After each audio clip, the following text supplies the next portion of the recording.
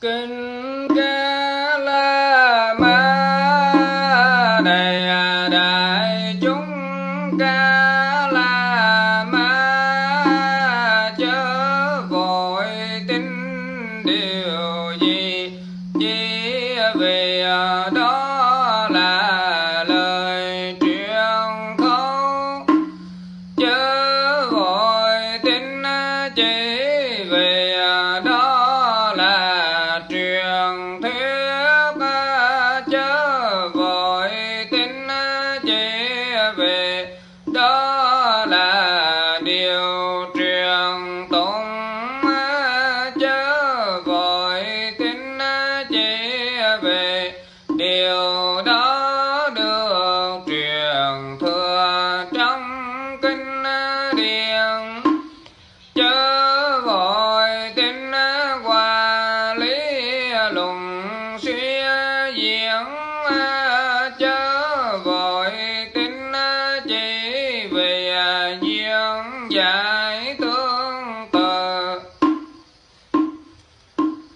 chớ vội tin qua sự đánh giá hời hợt những dữ kiện. Chớ vội tin chỉ vì phù hợp với định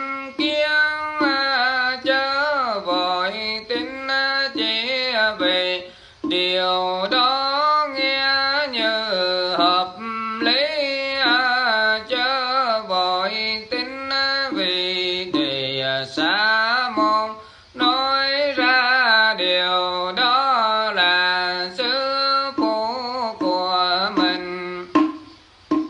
Nhưng này đại chúng ca la ma, khi nào tự mình biết rõ như sau các pháp này là bất thiện.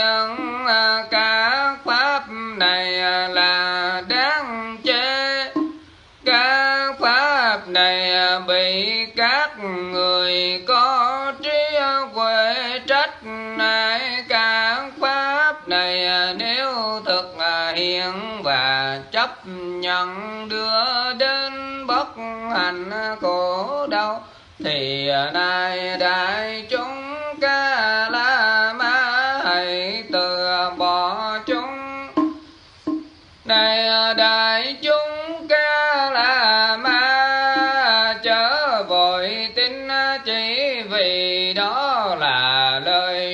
lời khẩu à, chớ vội tin à, chỉ vì à, đó là truyền thuyết.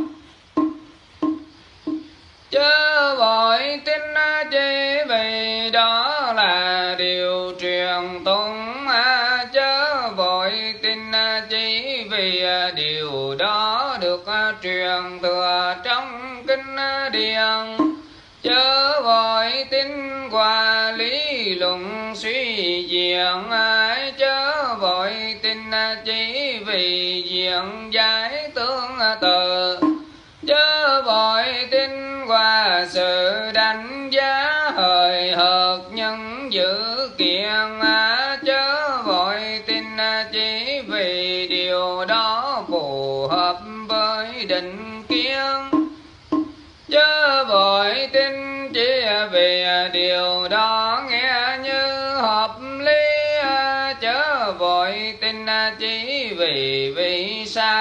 môn nói ra điều đó là sư phụ của mình.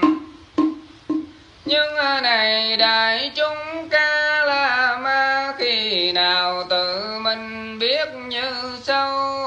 Các pháp này là thiện lành à, các pháp này không có gì là lầm lỗi các pháp này được bậc hiền nhân này nếu được thực hiện sẽ